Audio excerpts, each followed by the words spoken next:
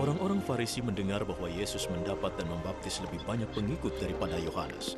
Sebenarnya Yesus tidak pernah membaptis siapa pun, hanya murid-muridnya membaptis. Jadi ketika Yesus mendengar tentang itu, ia pergi dari Yudea dan kembali ke Galilea. Dalam perjalanannya, ia harus melewati Samaria. Di Samaria, ia tiba di sebuah kota bernama Sikar, tidak jauh dari tanah yang dulu diberikan Yakub kepada Yusuf, putranya. Aku akan istirahat di sini.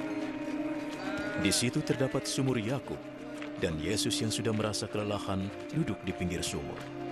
Saat itu tengah hari.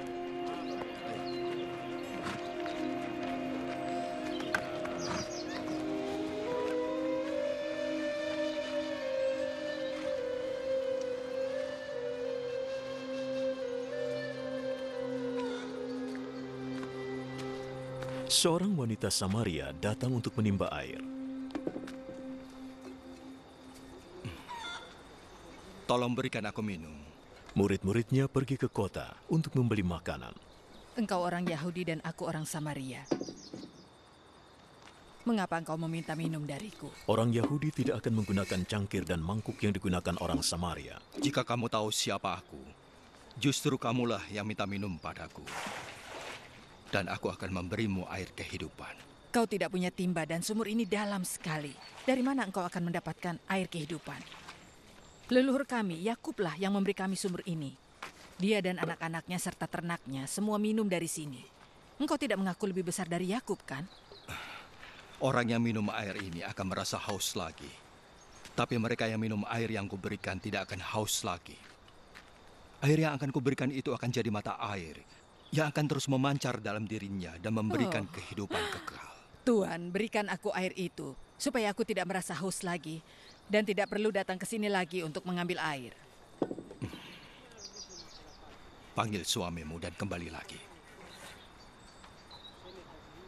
Aku tidak punya suami. Kau berkata benar tidak punya suami. Kamu sudah menikah lima kali, tapi laki-laki yang hidup bersamamu sekarang bukanlah suamimu. Kamu telah berkata jujur. Sekarang aku tahu engkau seorang nabi. Nenek moyang Samaria menyembah Allah di bukit ini. Tetapi bangsa Yahudi berkata hanya Yerusalemlah tempat menyembah Allah. Percayalah padaku. Akan datang masanya orang tidak lagi menyembah Allah di bukit ini, maupun di Yerusalem. Orang Samaria tidak tahu siapa yang kalian sembah. Tapi orang Yahudi tahu yang kami sembah sebab keselamatan datang dari orang Yahudi. Tetapi waktunya akan datang. Dan sekarang sudah datang.